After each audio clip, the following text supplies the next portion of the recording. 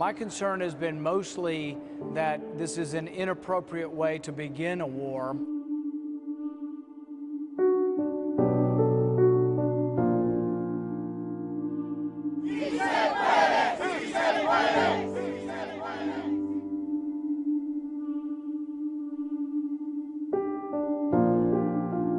¿Usted apoya el ataque de Donald Trump en contra de Bashar al-Assad, el dictador sirio? Absolutamente sí, era lo correcto.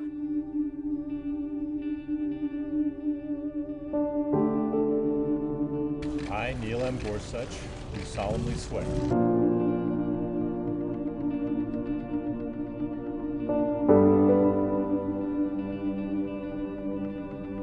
Starting today, federal prosecutors are now required to consider for prosecution all of the following offenses, often not prosecuted in the past.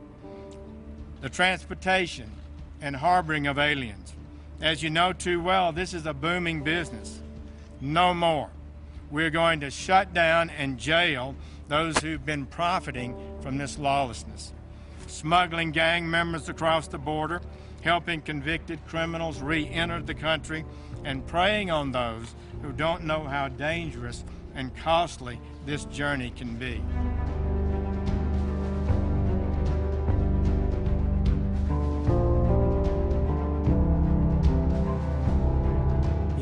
Had a, you know, someone as despicable as Hitler, who didn't even sink to the, to the, to using chemical weapons.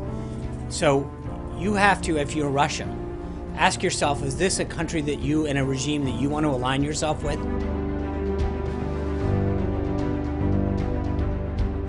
Frankly, I mistakenly uh, used an inappropriate and insensitive reference to the Holocaust, for which, frankly, there is no, uh, there is no, no, no comparison. And for that, I, I apologize. It was a mistake to do that.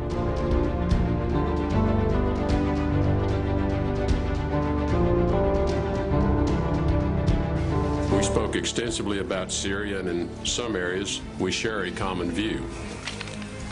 Specifically, we both believe in a unified and stable Syria, and we agree we want to deny a safe haven for terrorists who want to attack both of our countries.